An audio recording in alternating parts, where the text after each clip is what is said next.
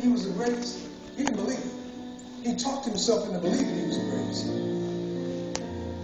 The man started talking, he talk, he trash talked his way into being the greatest. But then he was also a Train.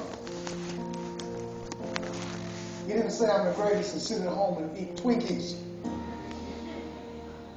He trained, he honed his skills.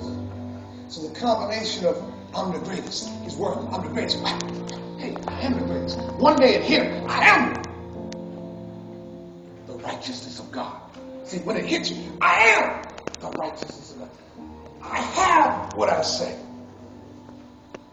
Money cometh to me. No, not something that we do as a ritual, something that, that is. This is the way we, as the righteousness, sons daughters of this is where we live. Too often in the church world, we're dealing with so much of the flesh verbal flesh, physical flesh. People, people haven't transitioned into living the spiritual life. God is birthing in the church. He's birthing something right now. In this church, He's birthing. There's a birthing taking place. I want to pray for you before you leave, John. There's a birthing taking place in this church. It's a birthing, it's a new era, it's a new time, it's a new it's people who will mm, fight. People who will determine to win people who will come. Amen. Is there anyone here this morning that you have never received the life of God, that you are not a child of God, you are not born again, you've not received Jesus as your personal Savior up until this point? If you're here this morning, you do not want to leave here without that secure in your life. I'm not going to ever take it for granted that everyone is born again that's under the sound of my voice. If you're here and you've never made Jesus the Lord of your life, you want to do that. You want to you want to seal that deal today. It's free. The price of eternal life is free. It's already been paid for. If you have not accepted by, by His grace and by His favor and His goodness that that transaction, I want you to slip up your hand right now. If you're not born again, if you've never received the life of God, bow your heads, please. Bow your heads. Bow your heads.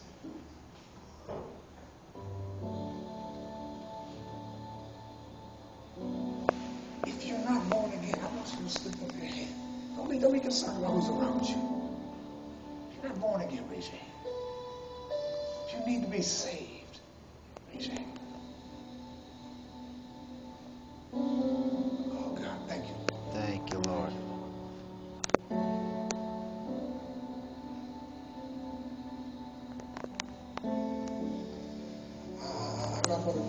Call for who's in trouble because I think the whole place will be full. You can, you can lift your heads now.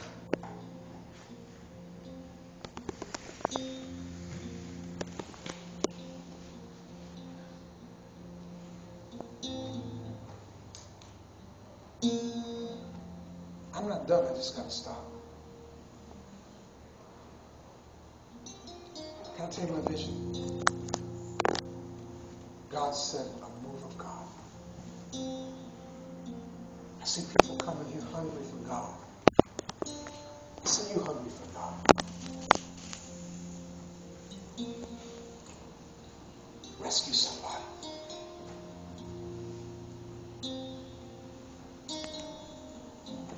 Total rescue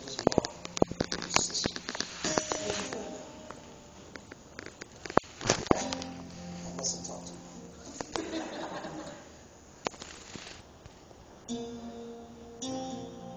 heart was to rescue you. His heart was to rescue you. And then there's a next step. Help people stay committed. They that are planted in the house of God, they're the ones who flourish. You flourish when you're planted.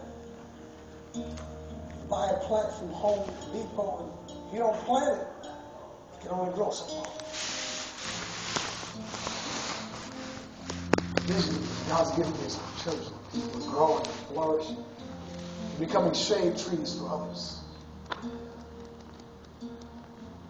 Be go doers, not have hearts. Who do you know that needs to be rescued? Maybe somebody going to a church that you know they're not getting anything of, of substance. Maybe someone's not born again at all.